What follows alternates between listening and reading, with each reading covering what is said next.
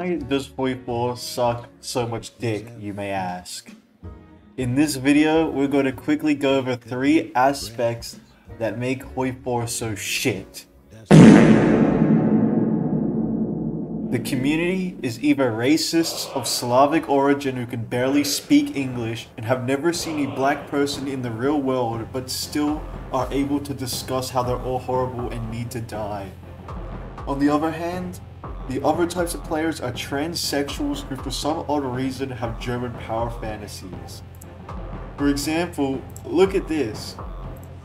Trust me bud, on a Hoi4 server, the last thing you are is a she.